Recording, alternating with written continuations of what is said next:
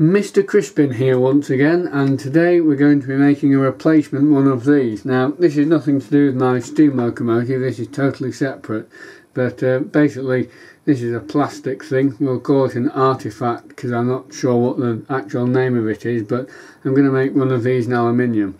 Uh, it should have a threaded stud in the back um, but that is broken out. So first off how to do it. Um, I'm going to start with the part this way around so to speak. I'm going to face off, machine the OD, put the counter bore in and then transfer the whole chuck across to the dividing head in the milling machine and use uh, this little fly cutter I've made um, to cut these flutes down the side. I'll show you a close-up of this later but um, once I've done that I can put this chuck back on the lathe part off flip the piece round and uh, face off and drill and tap the hole in the back. So that's how I'm going to do it. Just before we start a big thank you to Ron Cartwright who has sent me a complete set of Glanze turning tools uh, that fit the Myford lathe and I'm going to be using a couple of them in this video. So let's make a start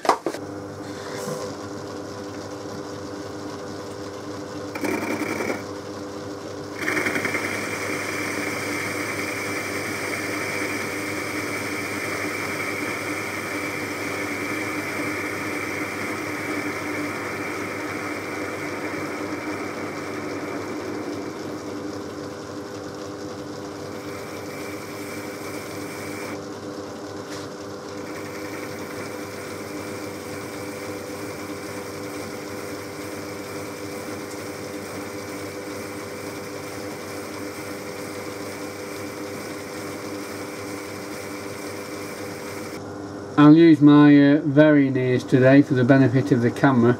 So aiming for about 1310. So I've got quite a bit to come off. At these speeds and feeds, which is about 1100 RPM and 6 hour rev, uh, the max the motor can cope with is about a 30 thou depth of cut. It starts to slow down a bit after that.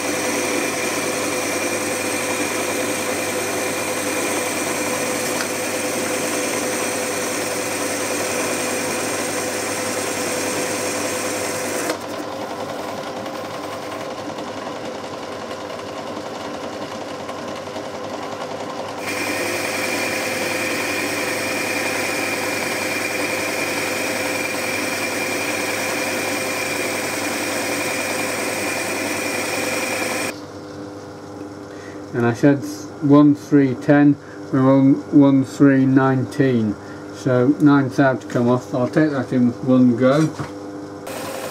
Nearly at the end of the finish pass now.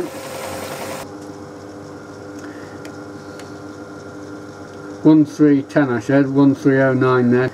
Some of these carbide tip tools particularly like this one with a slightly negative rake and a uh, radius on the tip prefer a heavier finishing cut to get a good finish. They like to be loaded up more uh, compared to say a high-speed steel tool with a truly sharp edge. Um, so uh, I could have been a bit more careful with the size of finishing cut to achieve a bit better accuracy but in terms of surface finish a heavier cut sometimes is a bit more beneficial. So this is the bit it fits in and as you can see down at the bottom there there's only a small boss so there's really no need to make it as big as that. Um, so I'll just make it the minimum size required to allow that boss to go in. I'm just going to drill it out to about half an inch by an inch deep ultimately. Half an inch diameter that is.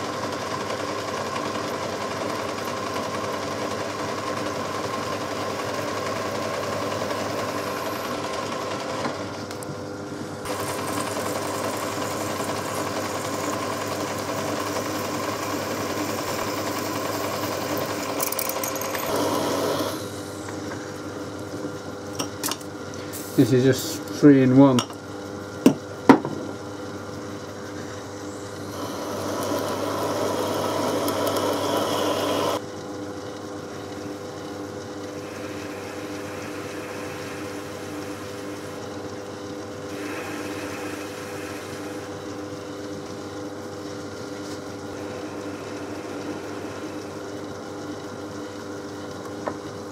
So over at the milling machine now I've put the dividing head on and uh, this is little vertex dividing head uh, 40 to 1 ratio with the normal plates around the side but on the front here is a direct dividing plate which uh, I nearly always use and that's basically got 24 holes and a little plunger at the top and uh, that just makes all the normal numbers much simpler to uh, divide by. For instance here I'm going to put 8 grooves in so I'm just going to go around 3 holes or 45 degrees at a time.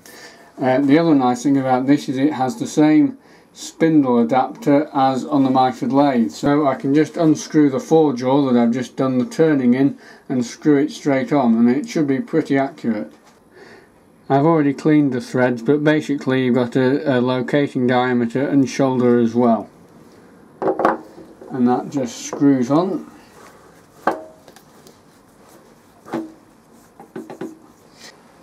So having now swapped the chuck over we better check uh, see what the run out and alignment is like.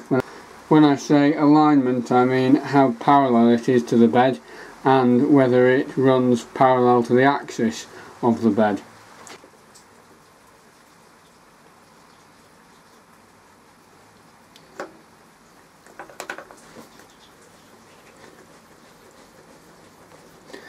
I don't know if you can see that on camera but it's about 2 thou which I think uh, will be fine for this.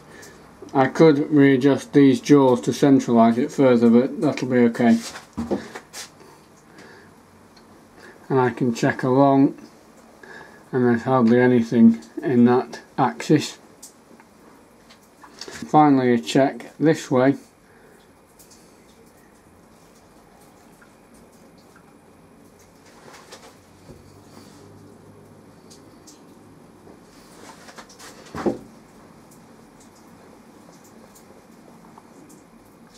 there's about a thou over the length of it so that's absolutely fine. I've ground a fly cutter up to match the slots in uh, these grooves and I'm now going to set the middle of the cutter with the centre of the work. So before I start cutting I need to set the tip of this tool onto the centre line of the work. And uh, if I was using a horizontal piece of high-speed steel with an accurately ground form on the end I could use the top of the tool as a datum. But uh, this slopes down and I've manually uh, or hand ground that form on the end. So my best bet will be to use a scribing block. And um, what I've done is I've gone into the bore with it and set the very tip of the scribing block into the middle of the drilled hole so at the end of the drilled hole obviously there's a cone and I've set the centre of the cone to the centre of the scribing block. Now what I'm going to do is bring this over here and uh, adjust the Z height on the milling machine until the tip of there lines up with the centre of the tool. I've set the Z height, I've set the dividing head to zero and I've locked it. Uh, I'm going to come in and touch on and then feed in 70 thousandths and I'm going to take all the cuts at 70 thousandths and then uh, there'll be a few more finishing passes I expect.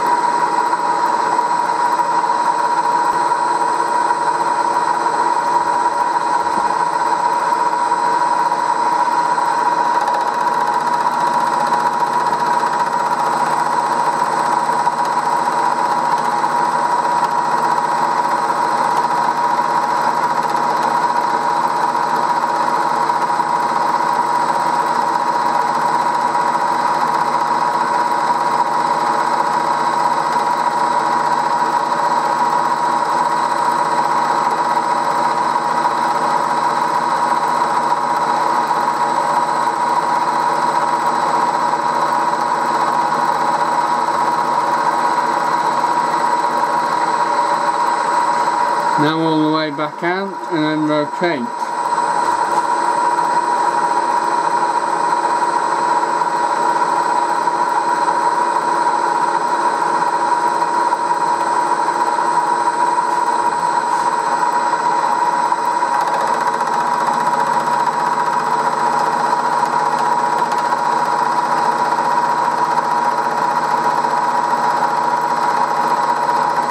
and so on.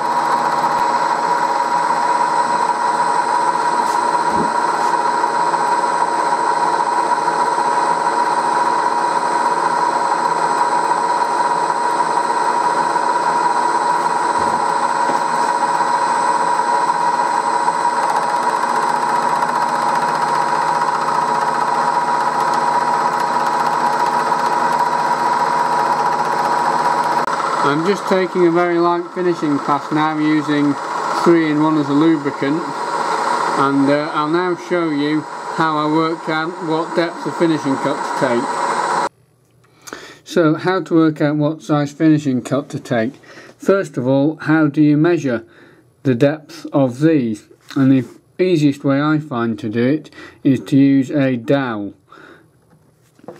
And uh, a dowel that will sit in each side and uh, protrude slightly past the face and come into contact with the two flats. I don't want to come into contact with the radius. I want to sit on the two flats and come far enough out so that I can use a micrometer to measure between them but not too far out that the roller sits on the corners. So when I've got two rollers of the right size, 2 mil worked in this case, um, I'm able to get a measurement over the outsides. Now when I'm copying something, such as this plastic bit, it's very easy to work out what to do because all I have to do is put the rollers into the plastic one, measure this, then put the rollers into the aluminium one and measure this and uh, whatever the difference is tells me how much there is to come off and of course because we're working on two sides we have to divide it by two. So let's say we measure on the plastic one and get two inches or 50 millimeters. And then let's say I measure the aluminium one and this measurement comes to 50.1 millimeters. Well that's 0.1 millimeters oversize so I put 0.05 of a mil cut on and by the time I've been all the way around the periphery with the fly cutter that should have brought this overall dimension 0.1 in achieving the 50 millimeters to match the plastic one. So that's relatively straightforward. It's just a case of making them match. But what happens if you're working to a drawing and you haven't got one to copy? So taking a squashed up version of the part we need to imagine how it would be dimensioned so I'm going to draw a centre line in. And we're going to say that it's dimensioned from the datum being the centre to the theoretical depth of the V as 20 millimeters. And then we'll also say that this angle is an included angle of 30 degrees so therefore half of that would be 15 so what can we do to measure it? Well we need to bring our rollers back in and let's say we use a 2 millimeter roller. Now, so we know a few facts about this area. One of them is that the radius of this roller is 1 millimeter. And another fact we know is that from this face the line to the centre of the circle will be at 90 degrees. And we know that'll be 1 mil long. So we've got the radius drawn in 1 millimeter we know that that's going to sit at 90 degrees to this face. And we know that this angle is 15 degrees. So if you draw that as a triangle we've got a right angle triangle with a 15 degree angle here and a 1 millimeter length there. Now I've already done the trigonometry and that gives us a hypotenuse of 3.864 millimeters which in effect is the distance from there to there.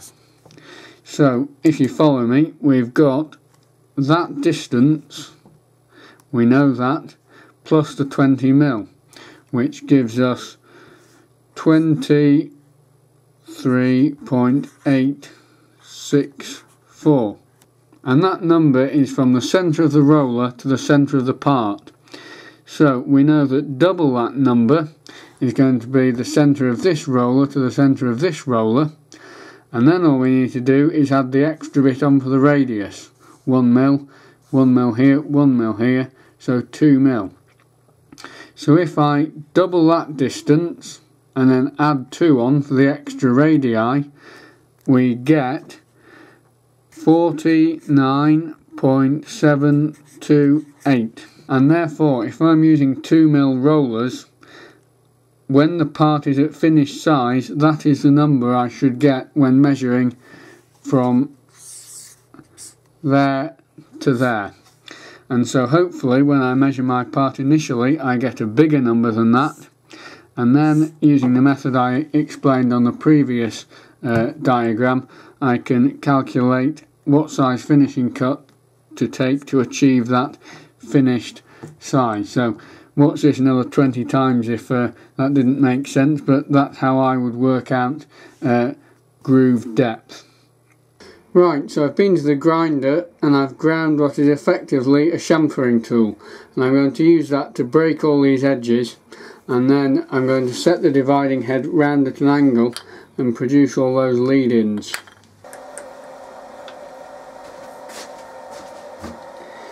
So having been round all the slots I've now got a light break edge on the uh, two sharper edges. I'm now going to produce a lead in hopefully very similar to this one here. I've got the dividing head round at 10 degrees now and right we're back at the lathe I've screwed the chuck on I've enlarged the chamfer here and I've given this a bit of a polish up with some Scotch-Brite so now I'm going to part it off.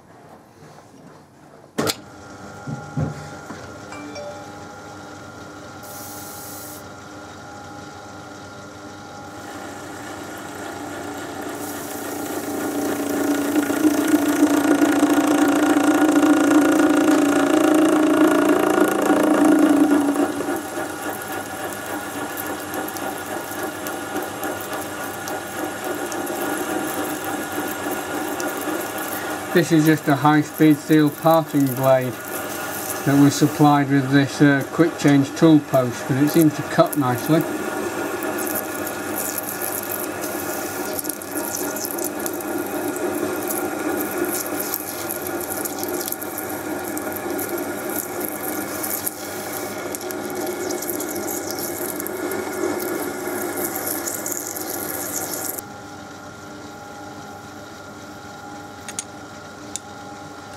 And there we are.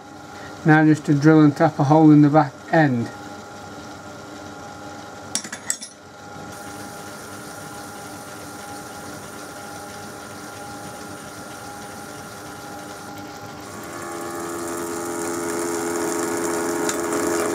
So now just to drill and tap a hole. I'll do that off camera and show you when I'm done. So there is the finished artifact. I'm very pleased with how it's come out and I've done a few operations I've not done in a while.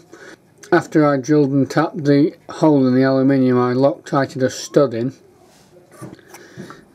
and then you can see that fits in there like that and it can go in a range of different positions. I hope you found that interesting. Thanks for watching and see you on the next video.